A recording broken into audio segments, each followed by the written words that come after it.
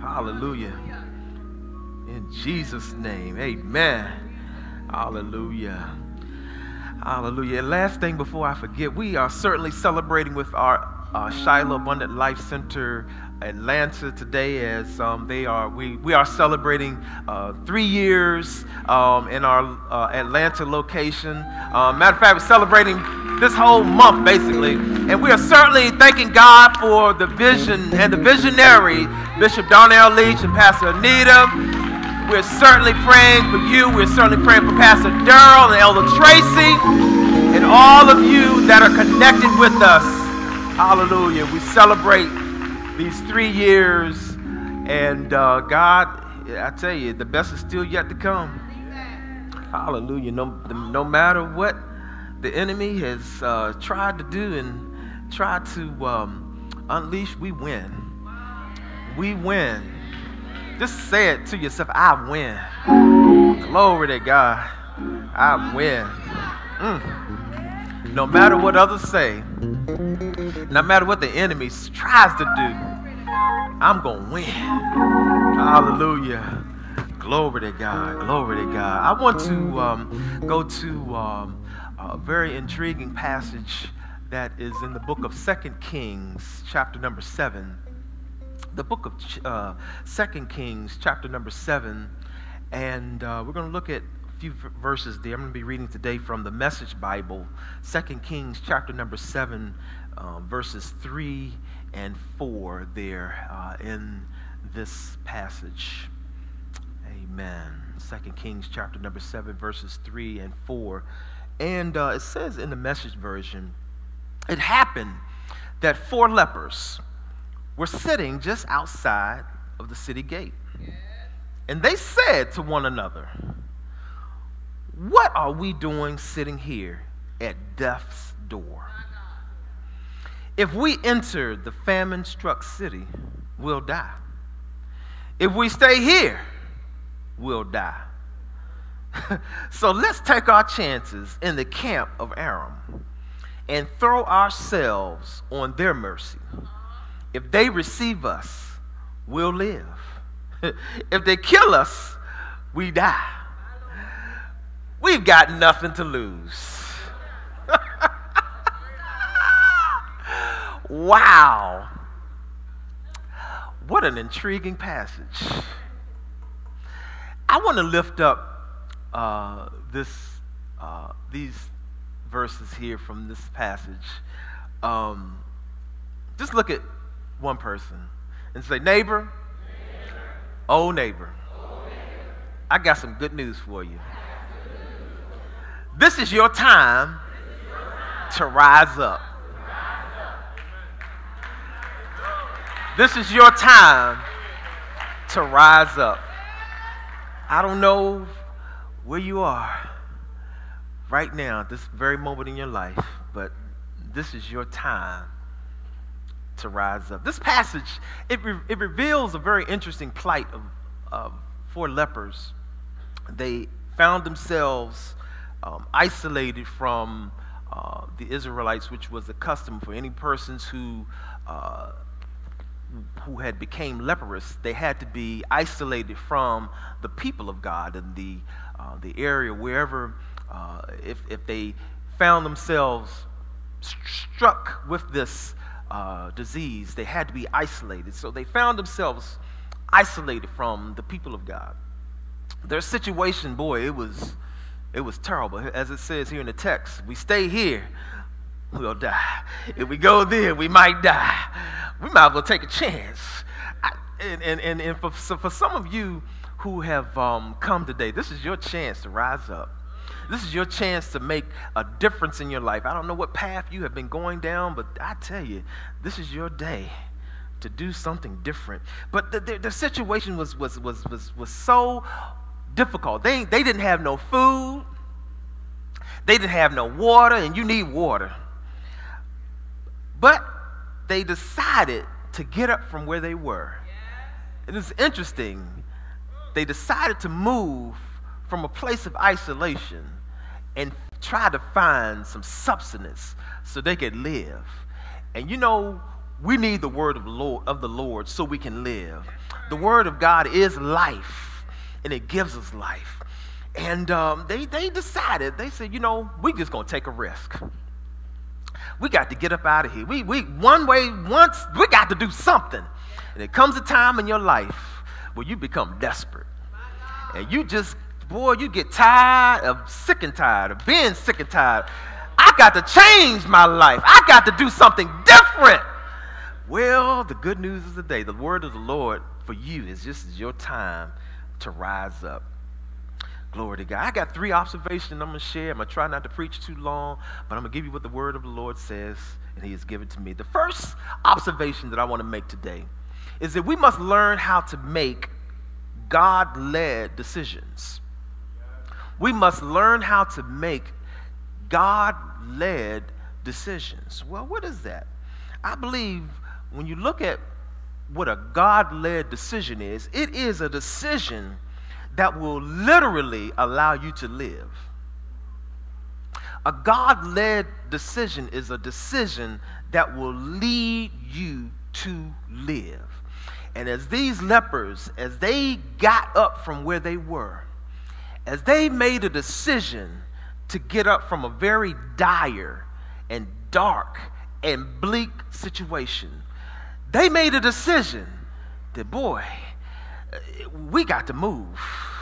Yeah, we got leprosy, but I, they made a decision that they weren't going to they weren't going to die where where they were. And there comes a time in life. Sometimes it seems like, boy, there, there there's walls closing in on the front, walls closing in in the back, walls closing in on both sides. But what do you do when you come to those types of situations? You find a way, sometimes you got to find your way through a crack.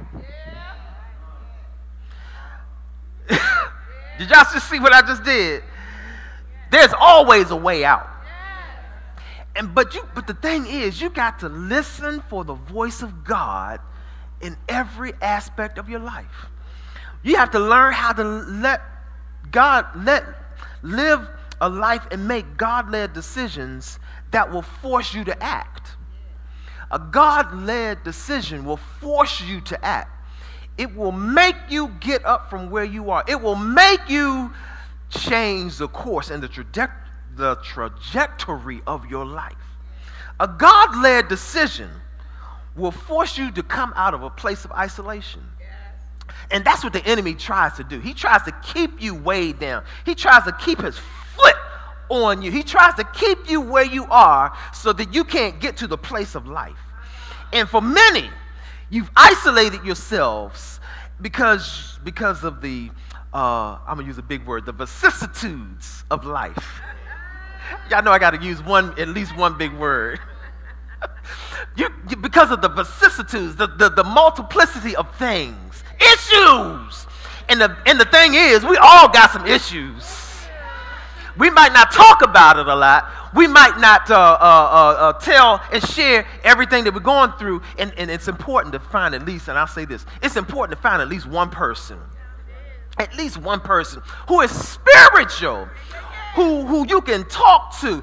Yes, you got to talk to the Lord. Matter of fact, that, that's the number one thing. But sometimes we need a person that we that we can touch, yeah. somebody that we can feel, somebody here in the earth that, that you know who can get a prayer through. Yeah. And I thank God for, for surrounding me with people who can pray. People who can pray. We, we might not agree on maybe sometimes all, all, all of uh, uh, uh, uh, all of whatever, but I tell you one thing, I got some praying people around me. And I, I encourage you to find somebody, somebody's who you can uh, lean on. Yeah, we can lean on the Lord. Yes, we do. And we need to lean on the Lord. But sometimes we need somebody here on the earth. Hallelujah. That can help us, that can pray with us, and sometimes pray for us. Glory to God. Make God led decisions. And you know what a God led decision will do? It, what it will do, it will cancel out the negative effects of our bad choices. When we make a decision, when we make a God led decision, it will cancel out the negative effects of a bad choice. And so that means that you've actually made a bad decision.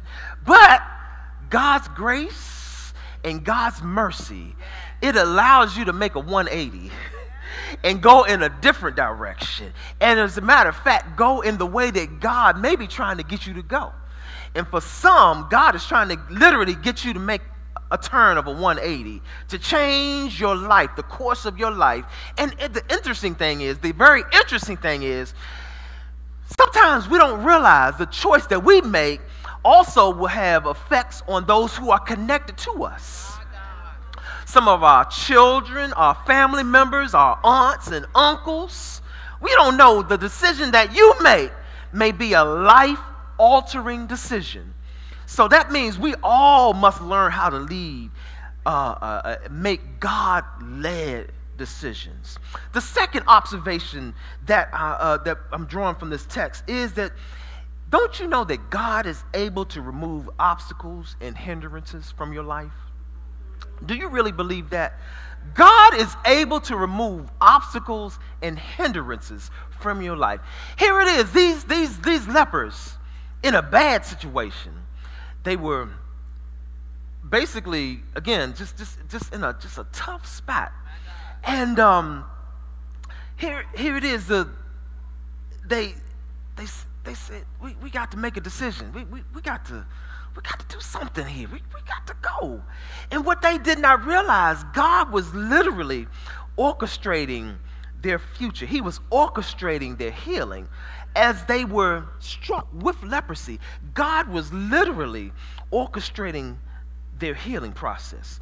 He was leading them to a place where they could find, find some substance, where they could find food and water. And this passage, it revealed to me that the ability of God, it always transcend, transcends our trouble. The ability of God, it always transcends our trouble. What, I mean, what do I mean by that? Well, what do I mean by that is, I don't care how deep in trouble you are. I don't care the, uh, uh, uh, um, the mistakes that you've made, um, how tight the walls are feeling. God's power, God's ability always transcends or transcends our trouble. And what that literally means, He will find you where you are. I know you're writing. And what He will literally do, put your Bible down for just one second, and then you can pick it back up. Say, what He will literally do, He will he will take his right hand, and his right hand symbolizes power. I'm going to talk about God's left hand too in a minute. But his right hand will come down, it transcends our trouble. That means it's above what we're going through. But his right hand will literally come down, he will pull us up out of our trouble, and then he will lead us to where we need to go, and he will sit us down in a new place, in a high place in a place of substance, a place that fulfills our needs. Glory to God. Is, has God done that for anybody? Come on, come on. You can go back to your seat.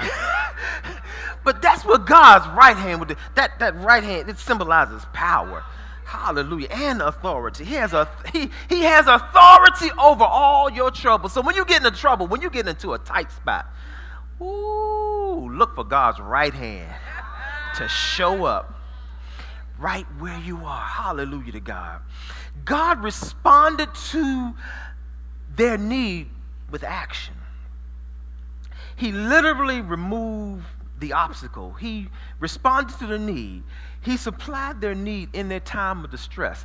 And what God did, the text says that God literally confused the enemy and what, he, and what God did, you go back and look at the text, what God literally, literally did, there was a supernatural sound that was released in the earth. And the sound confused the enemy. The enemy thought that it was horses and chariots and it was an army that was coming against them. And what they did, they jumped up and left where they were. And here it is these people, his people, even though they had leprosy, they were still God's people. That's right. and God made a way, literally made a way out of no way. I don't care how much trouble you are in, what may look like the ugliest of ugliest of trouble, confusion, negativity, whatever, God will confuse the enemy on your behalf. God will send us, He will send a supernatural tremor through the earth. My God, God will touch the heart of your enemies. And He will make your enemies begin to bless you. I, have seen Him do it. I've seen Him, I've seen, and I think I got a few more people in here that have seen God's hand. He's come in and changed. He's changed the situation for your behalf because you are righteous. Hallelujah. Glory to God. He always looks out for us right. That's why you got to maintain your connection with God. You got to maintain your relationship with God. Hallelujah. So when you call on the name of the Lord, he'll hasten to you. Hallelujah. That means he'll come quickly. Glory to God. He'll show up right on time. Yes, he will. Glory to God. What seemed, what seemed like a dead end situation to these lepers, it was an opportunity to advance. And I believe as we are getting and coming into this last quarter of 2018. It's a year of new beginnings. It's a year that God is rearranging some things for the lives, lives of many of his people. It is an opportunity to advance. And I don't know, sometimes we get we get a little nervous about change. And matter of fact, we all get a, ner- a little nervous about change because, boy, something comes to change up our routine. we get a little, mm, that don't feel right. You used to go on left, and the Spirit of God tells you to go right. Well, God, I don't want to go right. You need to learn how to go right when God says go. And that's just that. That's just a hypothetical. Whatever direction, whatever God is telling you to do, look at it as being a God-led decision look at it as being an opportunity to change the direction of your life. God is not going to speak a word that's, that's going to steer you the wrong way. He's going to speak a word that's going to lead you down the right path. It's, he's going to, now, that doesn't mean that the enemy may not show up sometimes. But just as, just as I said in the text, God will remove the enemies, He will remove the obstacles from your path. And what he's trying to do, he's trying to, trying to situate you and trying to get you to see that it is his hand, it is his power, it's his authority that makes the difference in your life. It is the one thing that will make the, make the difference. All you got to do is listen. Pastor C and I, I think I told y'all about the song. Marvin Sapp sings a song, says, Listen. And uh, God ain't really trying to tell you nothing. You just need to listen. He ain't trying to do nothing. He's telling you what to do. And for many of us, we put our headphones on, literally, and we ignore God. We tune him out. God ain't trying to tell you, you need to listen to what God is saying. Listen to a God led decision because you know what? When you listen to that God led decision, it will change your life. And I will add to it, it will change your life for the better. Hallelujah. And that's what happened to these lepers. They got blessed by the spoils of the enemy. Right. And I just believe what God is doing now in the earth. He is literally he is taking, he's making some of the people who have advanced over these last several years. What he's literally going to do, he's literally going to remove some of them. And I don't know, and I'm and I'm speaking a word of promotion for many. But what God is literally going to do, it may be for some of them, may, they, for some of them, they may need to be, uh, they may uh, uh, be retiring early. But that might be an opportunity for you. For some of you, uh, for some, literally, God is literally just removing them by supernatural means. It's an opportunity for you to increase in your life. That's what God would do. That's what, that's what happened in the text. I don't know what you're looking for. I don't know what's, what, what state uh, of life that you're currently in. But I just believe that the wealth of the wicked, it is being laid up, it is being stored, it is being positioned for the righteous. Glory to God. Ain't got nothing to do with the wicked. Ain't got nothing to do with them. And God can change them. God can still save them. But God is, I, I feel it. God is shifting. God is rearranging some things. He's changing some things for the people of God so we can continue to advance the kingdom work that He has assigned for us to do. Hallelujah. So, again, make God led decisions. Realize that God is able to remove obstacles and hindrances. But the last observation is that uh, God will transform your trouble into a victory. God will transform your trouble into a victory. Those defeats that you have ex- been experiencing, God will turn that thing around. and He will transform your trouble into victory.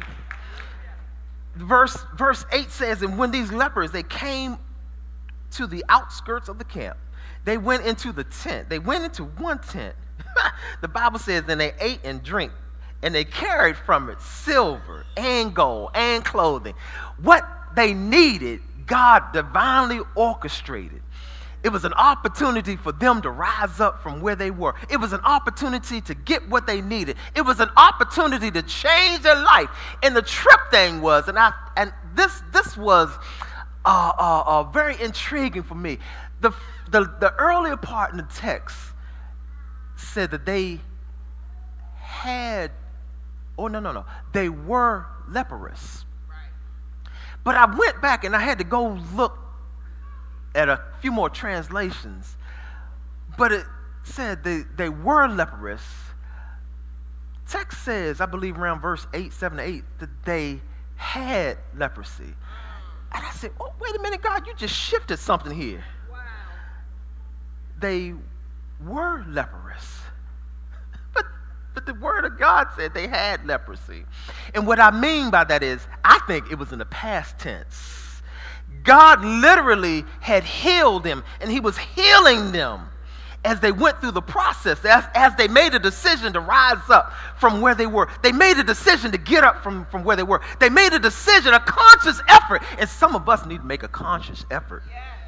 Make more of a conscious effort over your life. Make more of a conscious effort of, of, of changing your situation. The word of the Lord came through uh, uh, Minister uh, uh, Benita, and, I, I, and, that, and it witnessed to me because I was praying, and God had literally said the same thing to me early this week, and that was a confirming word, Minister Benita. He said, Many of the people of God are literally, I wish I had somebody small, but I literally you are walking around. but how can I do it? You are literally, come here, Mariah. She little. You are literally, just get on my back. Come on. Literally, you are carrying around weights. And Mariah is about 100 and some 30 pounds. And she's starting to get heavy. You are literally around weight. You're carrying around too much weight. And you can't, you, you can't advance. You can't live because otherwise you're going to start going, I can drop you. but that's what happens though. You carrying so much weight to Lord, I can't make it. Lord, I, I can't go through. Lord, I, I can't, I can't, I can't. But God is saying, this is your time to rise up. Let go of the weight. You can only rise up when you let go of the weight. And I don't know what that weight is for you. You know what it is. But God said it's time for you to let go of the weight and rise up to where I'm calling you. Glory to God. God's word to us on the day is that your famine is coming to an end. And I don't know who that word is for. I know it's for me. But God's word is that your famine is coming to an end. Just look at one person say, Your famine is coming to an end. Hallelujah. And God also said that your struggles are changing for the better. Your famine is coming to an end. But he also said your struggles are changing for the better. That means it's working for your good. Yes, it's a, it's a struggle right now. It's, it's, it's a little bit agonizing right now. But he said he's taking those struggles and he's making it work for your good because you are making a decision to rise up. Somebody say, I'm going to rise up. I'm going to rise up from where I was. And I'm going to rise up to a place called better. That's what he's trying to get you to do. He's trying to get you to a better place in your life. He's trying to get you to a better mindset. He's trying to get you to a better space in your life. And don't you know a better space will make you look better. A better space will make you act better. You'll have a better attitude. You'll have a better outlook on life. It's because God's power that's within you will give you the ability to rise up. Somebody say, I'm going to rise up. I'm going to rise up. Yes, I am. And as I rise up, as a choir sing, trials and tribulations. I'm going to win. And you need to say that to yourself right now and into this week. I'm going to win. No matter what, I'm going to win because I made a decision to rise up. Hallelujah. Yes, I am. God responded to their action and he, he supplied their need. And I want you to know that God will, he will also do. He will heal you right in the middle of your famine. Hallelujah. And that's what was happening here in the text. They made a decision. We got to get up out of here. Yeah, we had leprosy. We are lepers, leprous. But the Bible says they had leprosy. I just believe that as they kept going, as they made a God led decision to get up from where they were, God began to heal them. He began to supply what they needed. He gave them what they needed while they were in the middle of a famine. So don't give up in the middle of your tight place. Don't give up in the middle of your troubling season. Don't give up, but stay focused on the one who gives you power. And I'm talking about the Holy Ghost power. Power to get up, power to act right, power to make a good decision. Hallelujah. Glory to God. And when you decide to rise up, God will turn your doubts into hope. God will turn your fear into faith, your failures into success. And he'll turn your trouble into triumphs. That's I'm so glad the choir sang that today and it's still ringing in my spirit. But we will fight. And that word fight literally means we're going to contend. And contend means together. Contending means we're going to fight together. Contending means we're going to win together. Contending means that as we go, we're going to pick up some more people. Hallelujah. And as we contend together, we're going to get strengthened. We're going to get strengthened for the journey. We will fight and we will win. We will contend together. I'm going to get strength from you. You're gonna get strength from me. You gonna pray for me when I get a little down. But we gonna fight and we will win because we are rising up. We will rise up. God is calling the church to rise up. Faith. Rise up in the authority that I've given to you. It's time to rise up. Glory to God.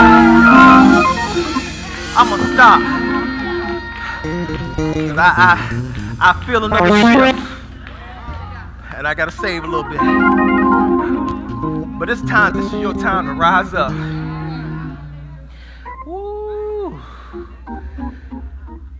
What God is li- literally doing, you can stand.